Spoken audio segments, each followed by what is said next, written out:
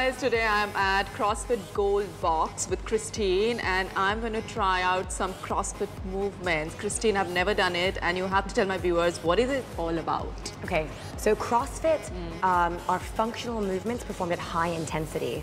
What I mean by a functional movement is a movement that will help you in your everyday life. For example, a deadlift, picking up something from heavy from the floor, right? You want to pick up your kid from the floor? Same movement, Right. right? That's what CrossFit tries to replicate. Okay. It's an exercise methodology performed at high intensity designed to help you in the real world or with other sports. Today you're going to show me some arm exercises. Yeah, toning your arms, getting those muscles in check.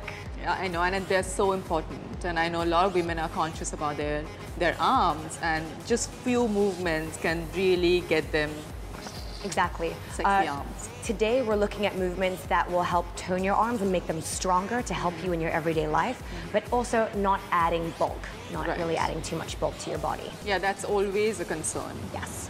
So wow, I'm super excited because I'm always looking for exercises that I can do for my arms to wear those really nice sleeveless dresses. Exactly. so, I mean, these are my some of my favorite movements that we're going to go through today. Um, again, anybody can do them. Um, if we need to, we can look at some easier scaling options. Okay, great. Let's start.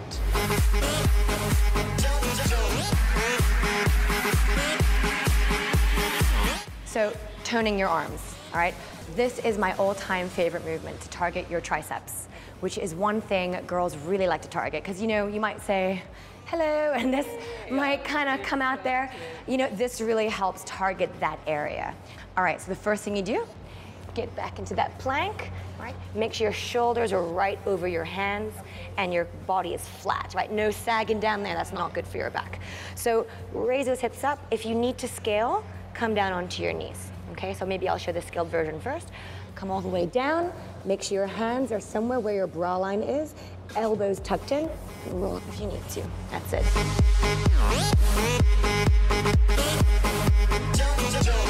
There you go, that's it.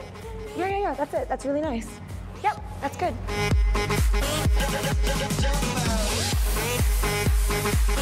The tricep burning? Yes. Burning. Good job. so you don't have to burn out on these. You can do, you know, three or four sets of five to ten. No need to go crazy.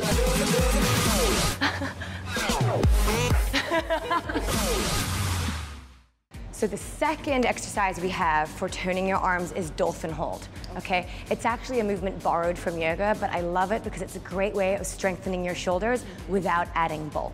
Let's do it. So come down here onto your knees, and you want to just bring your arms down from the elbow to the hand and make sure that your arms, you can grab your elbows to make sure they're in the right place.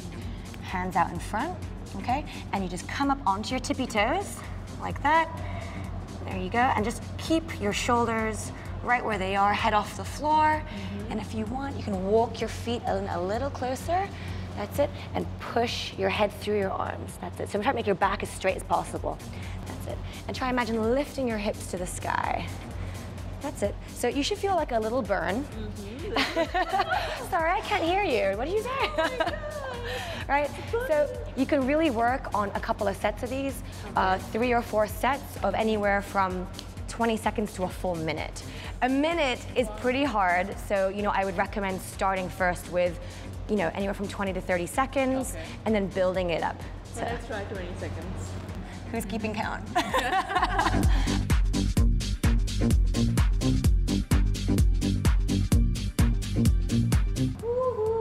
you start vibrating and shaking, that's a good sign.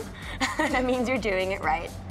So if you guys start feeling like your, your core is hurting, it probably means your feet are too far away and you're just in the plank. So you should really actually feel it. exactly. So walk your feet closer.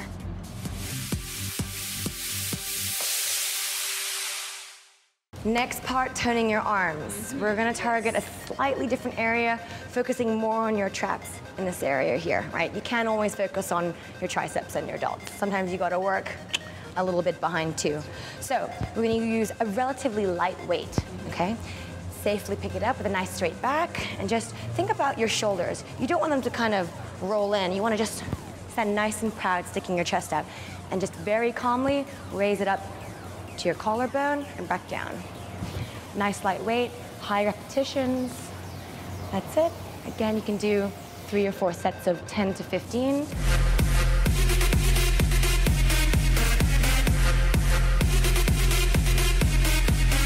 High elbows. Burning? One last thing for turning your arms. I promise it's the last movement. You're gonna need some dumbbells, all right? With this, actually, it could be the lighter the dumbbell, the better. Okay. Yep. So you wanna think about standing nice and tall, proud chest, roll your shoulders out, and very, very uh, slowly just raise the dumbbells out to the side and back down. Just to shoulder height, not higher. That's it, there you go. And you should feel these already. And you can actually just do sets of three sets of 10, something like that.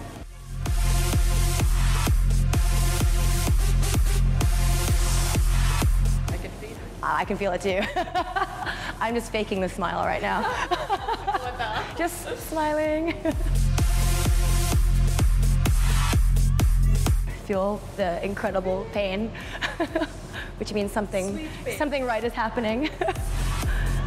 And as you said, we'll keep feeling it tomorrow